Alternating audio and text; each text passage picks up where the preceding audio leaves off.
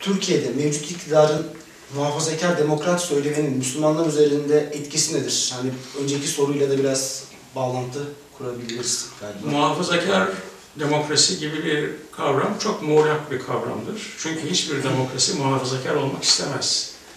Çünkü demokrasilerin büyük sayıların ilgisine ihtiyacı var. Büyük sayılar, yani niteliksiz sayıların da ilgisine ihtiyacı var. Demokrasiler inceliklerle ilgilenirler. Ee, muhafazakarlık dediğim gibi çok belirsiz, çok muğlak bir tanım. Bu neyi muhafaza ettiğinizle çok ala, yakından alakalı bir şeydir. Muhafazakar demokrasi bugün e, ne yapamıyor? İslami incelikleri temsil etmiyor. İslami e, bilinci, bir birikimi temsil etmiyor. Muhafazakar demokrasi e, sayıları çoğaltmak için olağanüstü fedakarlıklar yapıyor. Nitelikleri çoğaltmak için hiçbir şey yapmıyor. Büyük sayılar için olağanüstü fedakarlıklar yapılıyor. Büyük fikirler için hiçbir şey yapılmıyor. Bu çok hayati bir konudur. Ve şunu da düşünmek gerekir ki büyük sayıların iktidarı kültürel iktidarlar olmadan e, hiçbir kıymet ifade etmiyor, hiçbir kıymet taşımıyor. Şimdi bugün bu muhafazakar demokrat iktidar sayıları çoğaltıyor, paraları çoğaltıyor. Ve fakat belirtmek gerekiyor ki nitelikleri çoğaltamıyor. Nitelikleri çoğaltamıyor. Büyük fikirler öneremiyor. Bugün e, küresel tartışmalara katkıda bulunan bir tek düşünürümüz yok. Bir tek çözümleyici, eleştirel bir tek düşünürümüz yok. Ve burada yine Türkiye bağlamında e, değerlendirilmesi gereken bir şey var. Türkiye'de kültürel iktidarı elinde tutan bir avuç seküler azınlık, azınlık istediği zaman ideolojik meşruiyetten yola çıkarak, ideolojik meşruiyetten yola çıkarak sayıların meşruiyetini tartışma konusu yapabiliyor. Sayıların meşruiyetini tartışma konusu yaptığı gibi aynı zamanda bu sayıları ne yapabiliyor? Hafife alabiliyor, bunları kategorize edebiliyor, bunları değersizleştirebiliyor, değersizleştirebiliyor ve ortada ortaya ideolojik ideolojik meşruiyet temelinde yeni bir kültürel e, iktidar şeyi ortaya koyabiliyor.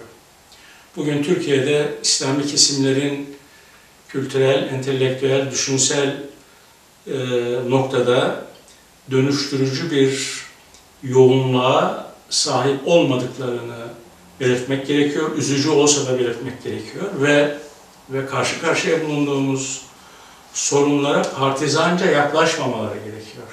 Ben geçenlerde bir yazıda e, taşralı toplumlarda ve kültürlerde partizan bir böceğin bir düşünürden çok daha değerli olduğunu yazdım.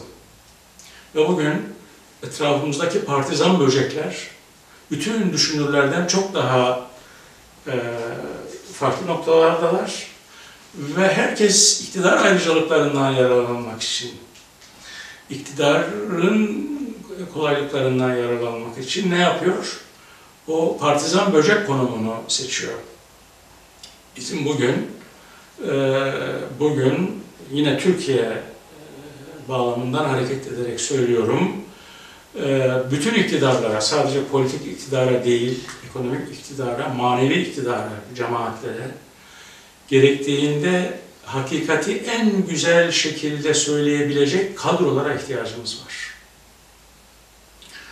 Hakikati en güzel şekilde söyleyebilmek için her türlü iktidara karşı eleştirel bir mesafe içinde bulunmak gerekir.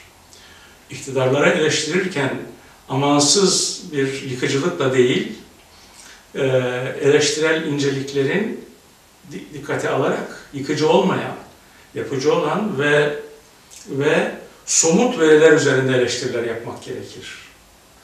Ee, ve yine şunu söylemek gerekir. Bugün kültürel iktidar konusunda, niteliklerin iktidarı konusunda hassasiyet sahibi olmadığımız için ne yapıyoruz? Sürekli olarak geçmişteki fetihlere atıfta bulunuyoruz. Bugün toplumlarımızı internet e, kültürü, e, elektronik kültür fethediyor aracılığıyla yani seküler kültür, haz kültürü, nihilist kültür fethediyor. Biz sürekli olarak geçmişe atıfta bulunuyoruz ve geçmişteki fetihlerden söz ediyoruz. Geçmişteki fetihlerden, sürekli olarak geçmişteki fetihlere atıfta bulunanlar, sürekli olarak bir uygarlık klişesini kullananlar, bugünün genç kuşaklarının zihin dünyasını dönüştürebilecek tek cümle kurma yeteneğine sahip olmadıkları için böyle yapıyorlar. Bunu yapmamalılar. Bunu yapmamalılar ve e, kendi iktidarlarını kimse mutlaklaştırmamalıdır. Hiç kimse kendi iktidarının iktidarının sayılarıyla, nicelikleriyle büyülenmemelidir. Çünkü kendi tarzlarıyla büyülenenler etraflarında ne olup bittiğini takip etme ihtiyacı duymuyorlar. Böylece bencillik yapıyorlar. Bencillik yapmak da kim bunu kim yapıyorsa, ben de yapıyorsam Allah korusun, her türlü bencilliğin bir putperestlik olduğunu bilmek gerekiyor mesela.